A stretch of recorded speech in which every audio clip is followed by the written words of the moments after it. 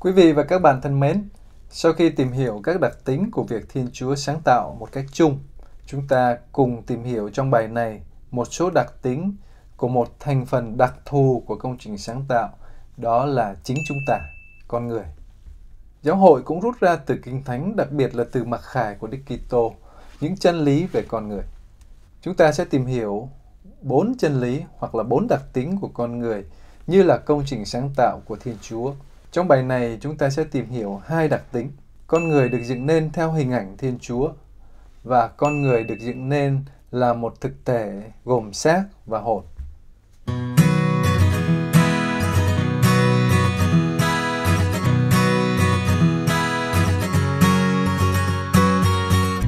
Chân lý đầu tiên đó là con người được dựng nên theo hình ảnh của Thiên Chúa. Điều này có nghĩa là gì? Nhiều thần học gia tìm cách xác định nội hàm của khái niệm theo hình ảnh Thiên Chúa có nghĩa là gì? Họ nói nó bao gồm những khả năng của lý trí, tự do, tình yêu, sự tự ý thức, tự chủ, dâng hiến, hiệp thông, vân vân. Tuy nhiên, điều giáo hội muốn nhấn mạnh là chân lý con người được dựng nên theo hình ảnh Thiên Chúa nói lên phẩm giá cao quý và độc đáo nhất của con người nhờ mối dây đặc biệt liên kết họ với Thiên Chúa và nhờ khả năng tương tác với Thiên Chúa một cách đặc biệt. Chỉ có con người mới được Thiên Chúa mời gọi và có khả năng trả lời Ngài. Chỉ có con người mới được Thiên Chúa yêu thương cách đặc biệt bằng cách đưa họ vào giao ước cứu độ với Ngài và gửi chính con một mình xuống thế để cứu độ họ. Với tư cách là thụ tạo được dựng nên theo hình ảnh Thiên Chúa, con người là trung tâm của công trình sáng tạo và công trình cứu độ. Mọi loài được sáng tạo cho con người, cũng như mọi loài phải trông chờ vào sự cứu độ của con người để hưởng thái bình toàn diện trong trời mới, đất mới.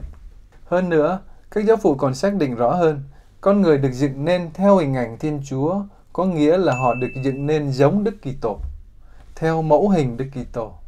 Đấng là Logos, là ngôi con. Vậy, họ có mối liên hệ đặc biệt với Thiên Chúa là bởi vì họ giống Đức Kitô, con một của Thiên Chúa. Có sự tương thích đặc biệt giữa cấu trúc hữu thể của con người với Logos, ngôi hai của Thiên Chúa. Chính vì con người có tiềm tàng nơi cấu trúc hữu thể của mình mẫu hình của Logos, mà ngôi hai có thể làm người, tức trở nên người như chúng ta. Hệ luận của đặc tính này của con người là mỗi người vì là hình ảnh của Thiên Chúa nên có phẩm giá tuyệt đối, chỉ với tư cách là người, không lệ thuộc chủng tộc, quốc gia, tài năng hay sở hữu gì khác của họ. Đây là lý do Kitô giáo đề cao phẩm giá của mọi con người, bất chấp màu da, giàu nghèo, mạnh khỏe hay bệnh tật, tài năng hay kém tài, vân vân và đặt giá trị và quyền lợi của con người trên mọi lợi ích phi nhân khác. Điều này giải thích các giáo huấn luân lý của giáo hội liên quan đến việc tôn trọng sự sống và tôn trọng công bằng xã hội, như việc chống phá thai, trợ tử hay việc bảo vệ trẻ em, trợ giúp di nhân, người nghèo, vân vân. Đặc tính thứ hai của việc sáng tạo con người là con người là thực thể duy nhất nhưng gồm xác và hồn. Khi nói về điều này, chúng ta cần cẩn trọng tránh hai quan niệm cực đoan sau về con người. Một là quan niệm nhị nguyên, hai là quan niệm duy vật. Quan niệm nhị nguyên cho rằng con người gồm hai thực thể xác và hồn kết hợp lại. Thường thì họ cho xác là xấu, xác tầm thường, hồn mới là cái tinh túy của con người. Nên mục đích sống của con người là làm sao giúp hồn ly thoát khỏi xác như tử ngục này. Quan niệm duy vật thì lại cho rằng con người chỉ là thân xác mà thôi. Hồn và các hoạt động của hồn chẳng qua chỉ là một cách nói trừu tượng hóa các diễn biến hóa học xảy ra trong thân xác. Họ cũng cho rằng con người chết là hết, là thành hư vô.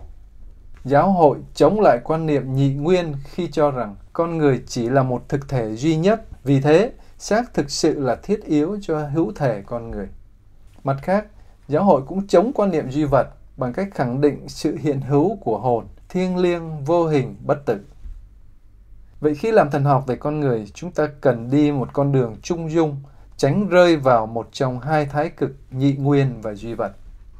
Trước đây, thần học về con người nhấn mạnh việc chống lại thuyết duy vật, nhưng lại có nguy cơ rơi vào quan niệm nhị nguyên khi nhấn mạnh đến linh hồn và xem thường thân xác. Ngày nay, Thần học về con người lại nhấn mạnh việc chống thuyết nhị nguyên, nhưng lại dễ có nguy cơ rơi vào quan niệm duy vật khi chỉ chú ý đến thân xác và chiều kích vật chất của con người mà lơ là chiều kích tâm linh và thiêng liêng. Một số thần học gia còn không tin hồn người chết tồn tại và họ nghĩ không cần thiết phải xin lễ cầu nguyện cho người chết. Họ cho rằng khái niệm linh hồn bất tử là khái niệm ngoại lai của văn hóa Hy Lạp, không phù hợp với quan niệm của Kinh Thánh. Chúng ta cần tránh quan niệm ấy. Vậy tóm lại, giáo hội quan niệm con người gồm xác và hồn, nhưng đó là hai chiều kích của một thực thể duy nhất làm nên bản tính người duy nhất của ta. Ta không thể là người nếu chỉ có xác hoặc chỉ có hồn. Chúng ta giống hình ảnh Thiên Chúa cả trong thân xác lẫn trong linh hồn. Vì thế, giáo hội mời gọi ta tôn trọng thân xác, nhưng cũng chú ý đến chiều kích linh thiêng của hữu thể mỗi con người. Chúng ta không cần loại bỏ thân xác mới có thể nên thánh, nhưng nên giống Đức Kitô, tức nên thánh với chính thân xác và linh hồn này của ta. Thánh Phaolô quả có nói, ta cần loại bỏ tính xác thịt, nhưng điều đó không có nghĩa là ta phải loại bỏ thân xác, mà là phải loại bỏ những cái xấu, những dục vọng hướng ta về tội, vốn ở cả trong thân xác lẫn tâm hồn của ta. Quan niệm trung dung đó về cấu trúc hữu thể con người dẫn đến quan niệm trung dung về cái chết. Quan niệm nhị nguyên cho rằng sau khi chết là lúc con người thực sự tồn tại, tồn tại một cách tinh túy như là hồn. Quan niệm duy vật thì cho rằng sau khi chết con người thành hư vô. Giáo hội không chấp nhận quan niệm cho rằng cái chết biến con người thành hư vô. Chính vì thế mà giáo hội khẳng định linh hồn kẻ chết bất tử và ở trong tay Thiên Chúa. Nhưng giáo hội cũng không cho rằng chết là đi vào một hiện hữu khác tương tự như hiện hữu trần gian, như một số ngoại giáo quan niệm. Chính quan niệm ngoại giáo này dẫn đến những niềm tin sai lạc về việc người chết vẫn tồn tại ở thượng giới hay ở âm phủ và có thể trở về trần gian để hãm hại hay giúp đỡ người trần. Người công giáo Việt Nam cũng ít nhiều bị ảnh hưởng bởi quan niệm ngoại giáo này, nên có nhiều người vẫn tin và sợ hiện tượng hồn nhập, ma nhập. Một số người còn nghĩ nên rửa tội cho linh hồn kẻ chết, vân vân. Thiết nghĩ, chúng ta cần cương quyết thanh lọc quan niệm ngoại giáo rất hấp dẫn này nơi cộng đồng tín hữu. Quan niệm này làm cho chúng ta bối rối, sợ hãi, mất lòng phó thác vào quyền năng vô biên và quyền chủ tể tuyệt đối của Thiên Chúa. Giáo hội dạy rằng linh hồn người chết ở trong tay Chúa. Họ không thể muốn về trần gian nhập vào ai thì nhập. Thiên Chúa cũng không cho phép hay gửi người chết về để cảnh báo người sống. Đó có thể là mưu trước của ma quỷ, làm ta không còn tin vào kinh thánh và giáo hội nữa. Chính Chúa Giêsu trong dụ ngôn anh Lazaro và người giàu đã nói không có chuyện kẻ chết hiện về cảnh báo người sống hãy sống tốt hơn. Họ đã có môi xê và các ngôn sứ. Chúa nói, nếu họ không nghe môi xê và các ngôn sứ, thì kẻ chết có hiện về, họ cũng chẳng nghe đâu. Tương tự, ngày nay tại sao chúng ta không tin vào Kinh Thánh và giáo hội, mà cứ phải chạy đi tìm các sứ điệp bí ẩn của các hồn ma, vốn có thể là trò lừa bịp của ma quỷ. Giáo hội có dạy về mối liên đới hay sự hiệp thông giữa người sống và kẻ chết trong lời cầu nguyện, trong việc dâng thánh lễ và trong việc lãnh nhận các ân toàn xá. Nhưng đây là mối hiệp thông thiêng liêng và diễn ra trong vòng tay Thiên Chúa, chứ không phải là một sự tương tác mang tính trần thế và ma thuật. Xin nhắc lại, sự hiệp thông giữa người sống và kẻ chết trong giáo hội là sự hiệp thông thiêng liêng và ân sủng, không phải sự tương tác mang tính trần thế và ma thuật. Các ngoại giáo hay những dạng mê tín dị đoan rất giỏi trong việc đưa ra những hình thức ma thuật để môi dẫn sự tương tác giữa người sống và kẻ chết. Những tương tác đó không có thật và là trò lừa bịp của ma quỷ.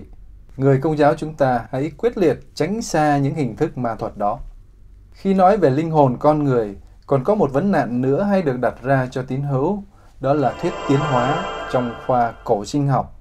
Khoa học cho rằng con người có chung tổ tiên với các loài linh trưởng ngày nay. Điều này có mâu thuẫn với giáo lý Thiên Chúa sáng tạo nên con người không? Thánh giáo hoàng John Paul II đã từng nói, nếu thuyết tiến hóa đúng, thì nó cũng không phá đổ được chân lý rằng Thiên Chúa sáng tạo nên con người. Bởi vì tương tự như đã nói về thuyết Big Bang, nó đưa ra câu trả lời ở một bình diện khác với Kinh Thánh và giáo lý. Tiến hóa có thể là cách thức tự nhiên, là cơ chế của các nguyên nhân đệ nhị qua đó, Thiên Chúa tạo ra con người với tư cách là nguyên nhân đệ nhất. Riêng linh hồn, giáo lý dạy rằng Linh hồn không được hình thành do tiến hóa, mà được Thiên Chúa sáng tạo trực tiếp. Như vậy, giáo hội tin rằng nếu thuyết tiến hóa đúng, thì ngay cả trong tiến trình tự nhiên của tiến hóa vẫn có một bước nhảy vọt, nơi đó một loài hoàn toàn mới được hình thành, và đó chính là khoảnh khắc sáng tạo trực tiếp của Thiên Chúa. Quý vị và các bạn thân mến, vậy trong bài này chúng ta đã bàn về hai đặc tính của việc Thiên Chúa sáng tạo con người. Ngài dựng nên họ theo hình ảnh của Ngài. Ngài dựng nên họ là một thực thể duy nhất gồm hai chiều kích xác hồn. Trong bài sau, chúng ta sẽ tìm hiểu hai đặc tính nữa của con người.